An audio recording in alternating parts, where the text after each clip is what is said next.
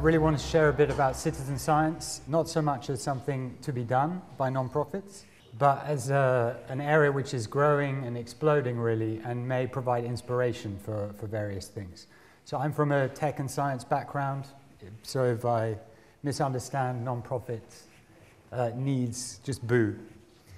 Um, the main difference between citizen science campaign and other types of campaigning is just that, uh, as is implied in the term, it goes direct to just asking people to do the thing, in this case research or find data, um, whatever the action is in order to understand something, that's what's being asked of the participants, not to contribute money and then be told that they've helped the elephant or to do any kind of a secondary action. They are just as much part of the team who's conducting the work as anyone else. So the objective of the Citizen Science campaign is to involve people in, in equal, equally doing something. It's jargon in some senses. You find it um, a lot of overlap with crowdsourcing, citizen journalism, and other areas. But the mechanics of it, as I said, are slightly different. You've got the input of, of, a, of a participant is usually effort, and the output is information. Whereas very often, um, from what I'm understanding here, the input is information explaining why something is a problem or what we need to do about something, and the output may be funds or it may be actions which can help to get those funds or that activity. But in the context of evidence-based policy making, going straight for the information can have its advantages. One reason is asking people to do things 10, 15 years ago was considered something a bit weird. Now, as examples like Wikipedia and Mozilla show, I don't claim to understand it. It's just how it is. People will work for free. The world has changed. Ask them to do stuff. And the relevance I think it may have, or, or I hope to find out more about, is for a lot of the participants here may be doing something of this style, in which case they are making campaigns in order to get funds to do research professionally, to then get data to present to power or, or achieve other objectives. And citizen science can provide inspiration in that you just go direct. You make campaigns that are the research. If you need research from a particular place, the mobile device is more than sufficient to um, get valid quantitative data. And what I would like to put forward is that the side effects from inviting people to actually be the researchers can be tremendous. And they can make the value of, of running such a campaign um, extreme.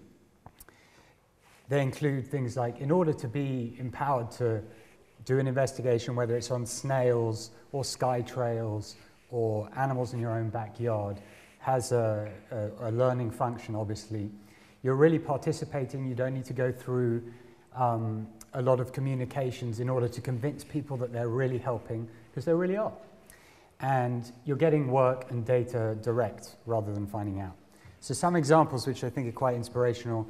These are some of the, the most used things. Snapshot Serengeti. Um, I don't know how many have used this.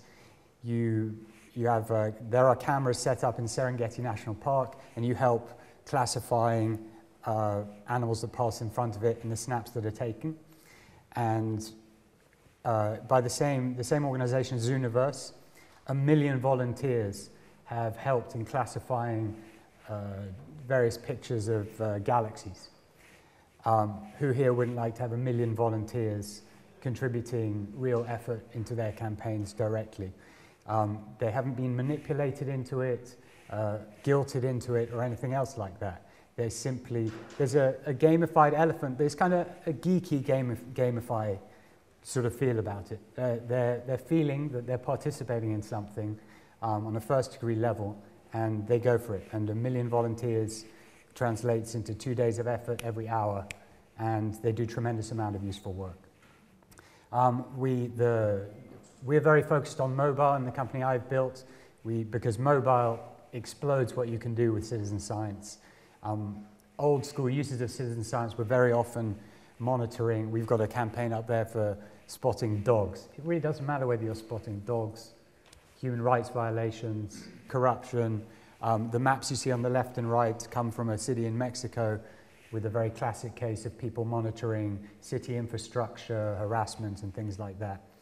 Um, but again, the people who are, are, doing this work are agents of, of the campaign um, in a very, very real sense. They are professionalized by the application they use so that the data that comes back to the, the central database is structured. And that's really a key, a key feature of citizen science, is to gather structured data. It's doing the work of science. And I think the, that need not be the objective for, for some attendees here. Um, however, the side effects, um, as I mentioned, of inviting people to be genuine participants can vastly outweigh. You, you, may find at the end of the day you don't get that exact data that you needed to present for advocacy, but we're very interested in finding from this whole citizen science world. Once someone is hooked in, once you've got my mum hooked in, rather, rather than adopting an elephant, um, growing flowers in her garden and monitoring how they're going, I think she's much more likely to, to um, uh, donate funds to a campaign anyway. There are disadvantages of, of this approach. Obviously, it's quite, sometimes quite dry, and uh, it's, up to, it's up to us really to make it exciting and to make people understand what they're doing. I think given that the honk is gone, there, there are questions around you know, how, uh, how straight uh, you have to be with a citizen science audience in terms of demanding accuracy and validations. But there's ways around that on the data side, which I'll discuss with anyone who wants to make a citizen science type app. Come and speak to me. We can look at how, uh, how we could do it for you. That's it.